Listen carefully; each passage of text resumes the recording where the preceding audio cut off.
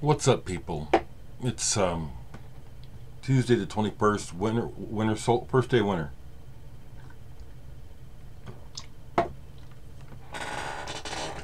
Um, sending a message because um, it's extraordinary. Um,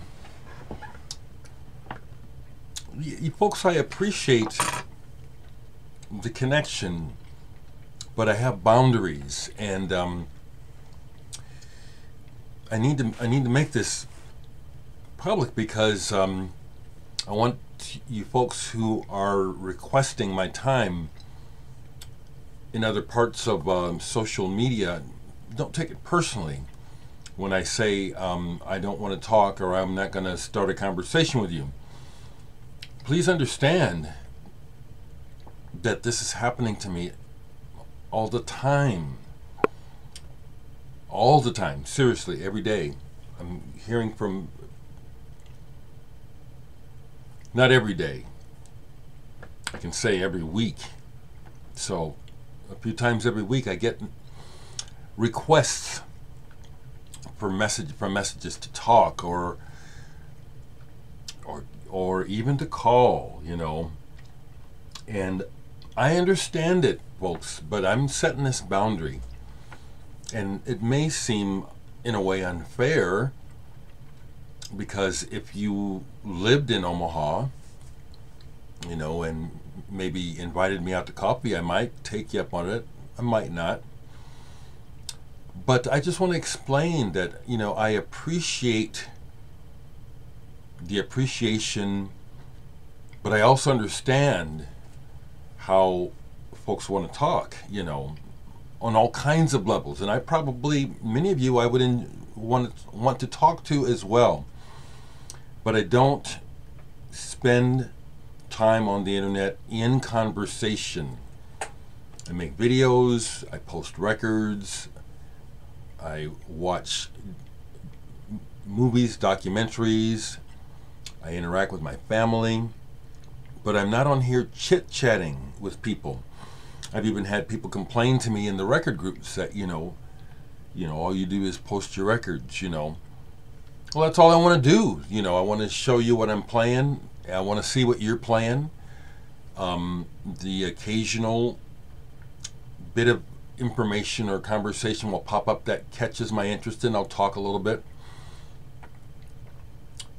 Um, you folks that just got a hold of me, you you you you know who you are, and please don't don't take it personally. Don't be upset.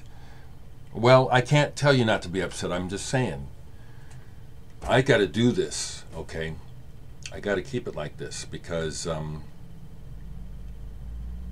I also have people who are in my history musically who I'm, I'm friendly i love people so when you encounter me um, in person i'm very friendly you know you know and so i have people who are kind of broken not kind of people who have problems who have glommed onto me and they'll just write me and start and tell, telling me stuff i don't respond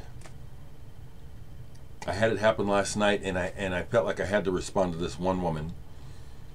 And then she wanted to keep going and started talking about her family. See, I no. Okay, so that's what I'm saying. Please. I also understand that good company is in short supply. That uh, and that's really another reason why I spend a lot of time alone is because I like good conversation, but a lot of people don't know how to converse very well at all. The, the back and forth is what I, lo- I long for, and, and most most people don't are unaware that it's a two way street. It's a give and take. You know, I know how to show interest in you, even if I'm not interested. But for the sake of being together, I'll take that time to give you my attention. I like it when I receive it in return, and that doesn't happen hardly ever at all. One of the people who in my life who is thankfully, and it's amazing, he's so young, but my buddy Blake, he is really turning into a really good friend and shows interest in me, you know, in, in my concerns. Like I am concerned, have interest in him. It's nice when it's reciprocal. But 90% of the time, once the ball gets rolling, the other person just wants to talk about themselves, and I get completely forgotten. Once again, three people this morning, just to qualify, it wasn't one, it was three people this morning that wanted to chit chat and get into this and that, and I just said, you know, yeah, it's, it's good to hear from you. Know, that's what that's what prompted it. Okay, it was like it wasn't just one, it wasn't two, it was three this morning. It's like, oh, okay, let me say something. Okay, much love to you all. Okay, seriously, much love to you all. So musically, it's not really a Christmas song, but I was reminded to play it. Mew she Came Home for Christmas. This is a CD single by Mew, my boys from Denmark. Wasn't that long ago I had a, a quick word with Jonas Bjerre, the lead singer of the band. He's got this new project called called Tachys, T A C H Y S. I like it. I don't imagine I'll be seeing any vinyl from that in this part of um, the country, but I like the videos. Interesting. One of them is pretty bloody. It's almost like, hmm, I wonder if Jonas is expressing. He got divorced a while back, and I wonder if he's processing that. I don't know. That was one of the thoughts I had because the video was uh, so. Um, it wasn't shocking. It was kind of like, hmm, okay, there's a message here. Okay. Um, So, so yeah. So a couple of records. Let's just do it like that, okay? So I like progressive rock. I don't like um, NAF progressive rock. Um, a band that's close to NAF to me is Dream Theater. The music is great. I I cannot stand those vocals. Here is an example of a modern progressive rock band. Well, they're already gone. But I think this is this is this is I almost perfect in my opinion of what a good progressive rock album is. Kino, this picture. Uh, all these guys have background. It bites. Chris Maitland, the drummer here, was the original drummer for Porcupine Tree. And as much as I like Porcupine Tree, I don't think Porcupine Tree has made an album this good. And I like Porcupine Tree and I collect them. And Kino made another album after this and it doesn't touch this. This is kind of like this was a one off. This makes me cry. Okay? Uh, it's not the words, it's the feeling. There's a soaring feeling of I'm trying to get through to you in a lot of these songs. Very emotional. And the drumming is very emotional very propulsive.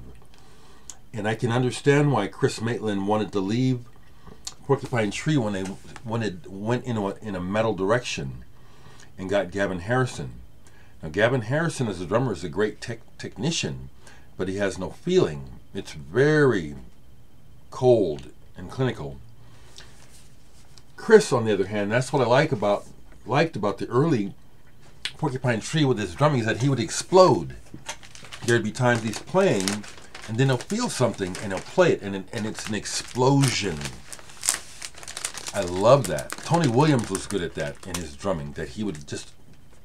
He was also always playing playing very propulsively, but things would rise to the surface that would explode out of him, and that happens with Chris Maitland's drumming in Porcupine Tree and also this album. This I think is one of the best modern progressive albums made and people like like those kind of comments. So I will also say this: when people ask me what's your favorite this, favorite that, my main mind begins a clusterfuck. But once I get talking about something, I can start to say, well, this, this, this, and this. But I don't think in those terms of favorites anymore, not at all. Nebraska Band, um, For Against. You guys know about these guys? They're friends of mine. I was just, um, someone online last night posted this album, this three record box set. December, and I thought to myself, yeah, it's December, it's solstice, let's play this. And um, great album, great band. Seriously, one of the bands that I think helped to establish what we consider dream pop. Heard from Jeff Runnings, the leader of the band, this morning, because I posted this on my Facebook after listening to it as well, and he thanked me and invited me out for coffee. Had some great shows with For Against back in the day. And um, yeah, For Against, one of Nebraska's greatest. Truly. Played some great shows with them in, while I was in the band Digital Sex. German rock band Kin Ping Meh. This is a collector's item. For some reason, this album you can't get it for cheaper than 300 bucks. And it's um, it's not krautrock. It's the Germans still emulating American rock, but it's got this feeling different from America. That picture. There's a warm, sunny summer, very good type of feeling to this album. They do a great version of the Beatles come together on this. That's just a horrible cover. So the For Against play last night led me to playing this because it's a similar sound. Sad Lovers and Giants. Do you know this band? Cowboys is a 12-inch single. My band Digital Sex, we used to cover one of their songs, Big Tracks, Little Tracks. Love this band. It still sounds great. Seriously. Find out about this band if you don't know them. And you like that any shoegaze, post rock, uh, dream pop, any of that stuff if you're interested in, check out Sad Lovers and Cowboys, uh, Sad Lovers and Giants. Here's a record that came to me through the e, the uh, BC from a, I wonder if he's passed away. I can't think of his name. Some people have passed away. Um, this was a German fella, and he did have health problems. I think he's gone. He's the one that had Bruno sent his album to me. But Bruno Ender Lee, Hope Beyond Menace. This is electronic. It's it's very much in the school of Tangerine Dream, arpeggiated bubbling synthesizers really good. Seriously good. Not not copying Tangerine Dream, but showing uh, ability and a bit of mastery with the electronics. It's a very good album. So, as always, people, let me know how you're doing.